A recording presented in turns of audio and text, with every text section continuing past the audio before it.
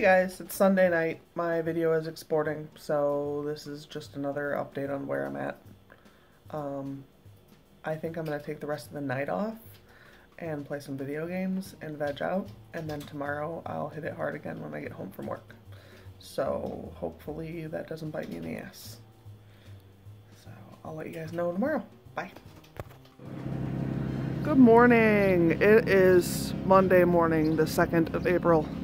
So I am getting ready to go to work.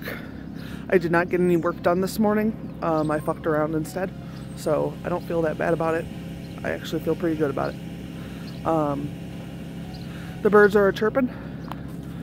It is spring is springing and sprunging around me. And that's pretty exciting. But it's still cold. It's like 20 degrees here. Um, and I'm frozen. So there you go. I'll see you guys later. Bye. Hey guys, it's Sarah. It's Monday night. Um, I am at the emergency vet with the cat because she's peeing blood. So that's what we're doing. We'll see how much work gets done. Hey guys, um, it's 9 o'clock, so it's time for me to put my video together. I got like a page and a half edited at the vet, but um, the cat is okay now. She has some sort of bacteria in her poop that's not supposed to be in her poop. So she has to be on a bunch of antibiotics and a probiotic. And so I'm doing all kinds of things with medications with my cat.